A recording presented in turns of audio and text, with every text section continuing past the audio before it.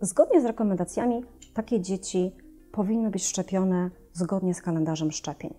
E, wyjątkiem zawsze jest padaczka w przebiegu postępującej choroby mózgu, e, w przebiegu której szczepienie może pogorszyć e, przebieg kliniczny u pacjenta.